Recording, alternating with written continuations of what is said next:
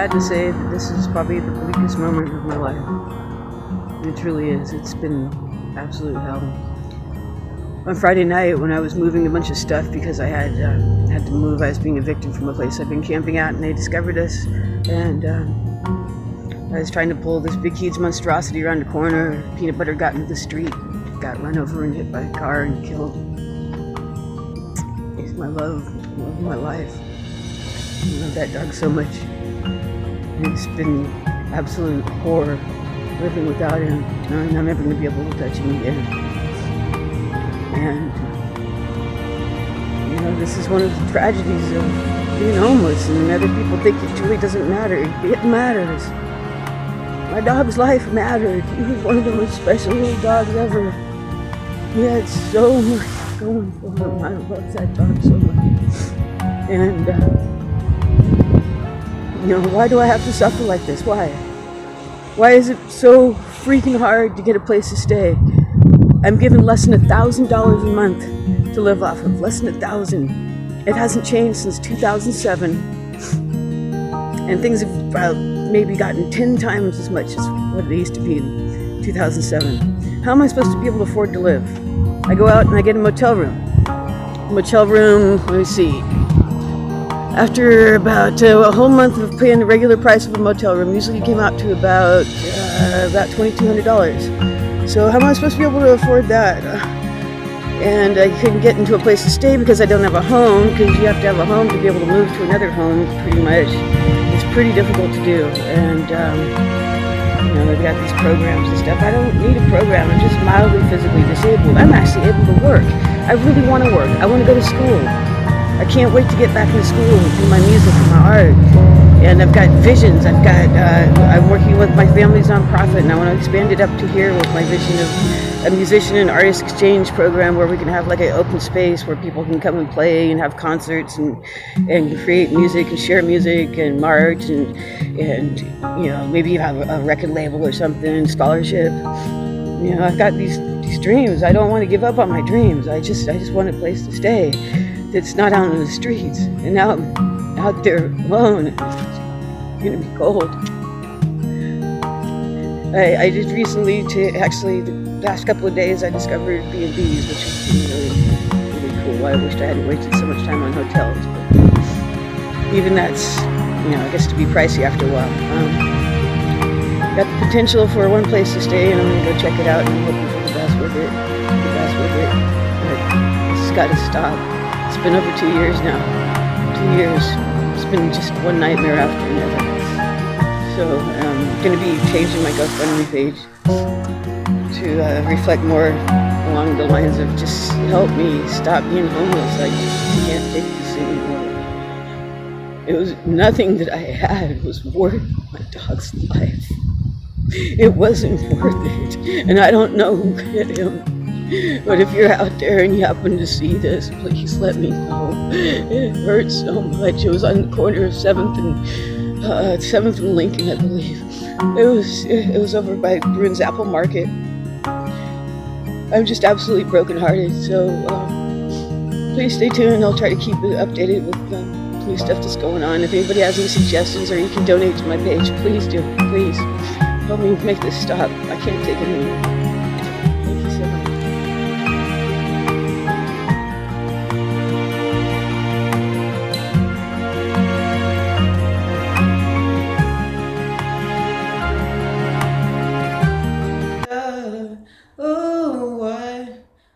oh, I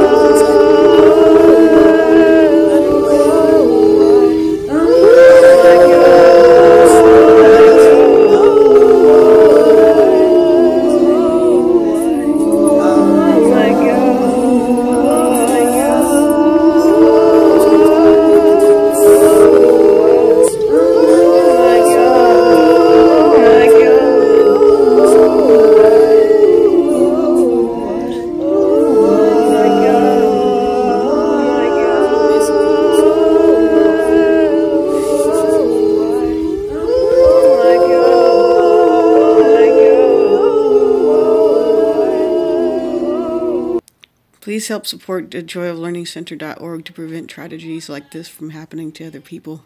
Thank you for watching.